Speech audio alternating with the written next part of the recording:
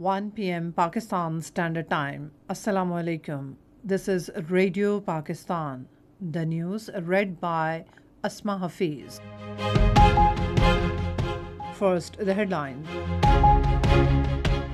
Prime Minister inaugurated the first phase of FATA University in Peshawar today. Finance Minister says State Bank of Pakistan has received $2 billion of deposits from the Kingdom of Saudi Arabia. President has stressed for promoting religious tourism to foster peace in the world. Indian troops martyred a youth in Rajouri district in Indian illegally occupied Jammu and Kashmir today. And now the news in detail.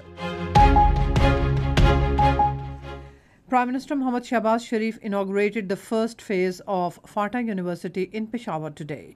This is the first university of merged tribal districts which will provide latest education to the capable students of these districts. Prime Minister Mohammad Shahbaz Sharif says government aims to fetch investment of billions of dollars into Pakistan's agriculture sector from the Gulf Cooperation Council countries under the supervision of Special Investment Facilitation Council for which the ground has been prepared. In a tweet, he said GCC countries import food items and agriculture products worth $40 billion annually. Prime Minister said in next 4 to 5 years there would be an additional investment of approximately $40 billion creating 4 million new jobs. Finance Minister Ishaq Dar says State Bank of Pakistan has received $2 billion of deposits from the Kingdom of Saudi Arabia. In a televised message today, he said the friendly country had made a commitment in this regard in the recent past. He said these deposits have enhanced the country's foreign exchange reserves from $9.67 billion to $11.67 billion. On behalf of the people and government of Pakistan, Finance Minister thanked Saudi leadership, especially King Salman bin Abdulaziz Al Saud and Crown Prince Mohammed bin Salman Al Saud, for always standing by Pakistan in difficult times. Pakistan Stock Exchange is witnessing a surge in the 100 index in the aftermath of the deposit of $2 billion received from the Kingdom of Saudi Arabia. The 100 index has increased over 450 points during trading until now, which is being deemed as a positive trend expected to carry in the coming days as well. According to experts, successful finance policies of government and efforts of Finance Minister Ishaq Dar in this regard are commendable that have ensured the deposit of $2 billion from Saudi Arabia. President Arif Alvi has stressed for promoting religious tourism to reduce tension and foster peace in the world. Addressing the inaugural session of International Gandhara Symposium in Islamabad today, he said all the religions preach peace and we have to promote this message in order to bring cohesion and harmony in our societies. President emphasized that the world needs to shun the course of conflicts.